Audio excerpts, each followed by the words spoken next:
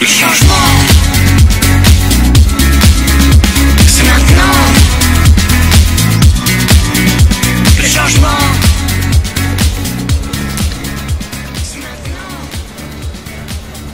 En fait, on, interpelle les gens sur euh, l'avenue de François Hollande le 14 mars à Marseille. Il viendra au Dôme pour son meeting. Voilà, on a fait, on a fait du porte-à-porte ce week-end. Et là, on vient directement voir les personnes, euh, se les rencontrer sur le Vieux-Port, puisqu'il y a un gros passage euh, à cet endroit. Et euh, on leur donne rendez-vous devant la mairie du 1-7 à partir de 15h30, euh, départ 16h pour le Dôme. Voilà. Il y aura beaucoup de monde pour le Dôme? J'espère. On a fait un bon travail de mobilisation et je pense que chacun autour de nous avons fédéré et avons mobilisé, donc j'espère qu'il y aura beaucoup de monde. Puis bon, ça va, François Hollande a beaucoup de personnes qui le soutiennent à Marseille.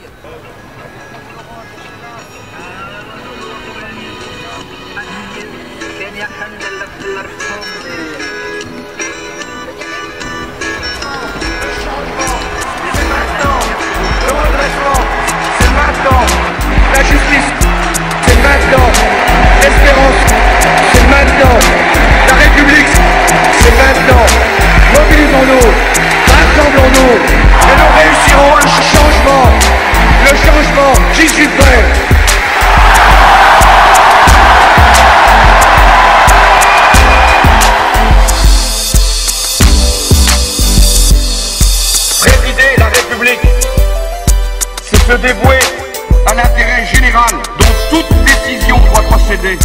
C'est éprouver la France par sa raison et dans son cœur.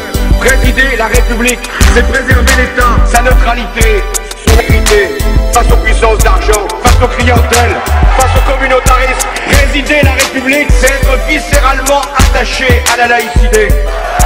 Car c'est une valeur qui libère et qui protège.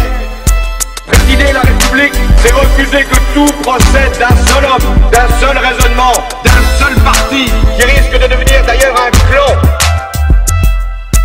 C'est élargir les droits du Parlement.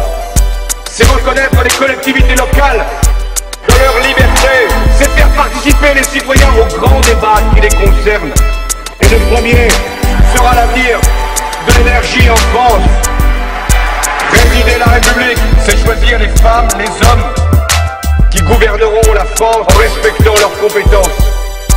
C'est accepter de partager le pouvoir de nomination aux plus hautes fonctions. C'est aussi ne pas nommer le président ou les présidents des chaînes ou des radios du service public audiovisuel. En préservant la liberté de la presse, en protégeant une source d'information, en n'utilisant pas le renseignement ou la police à des fins personnelles ou politiques. En 48 ans, l'indépendance de la justice.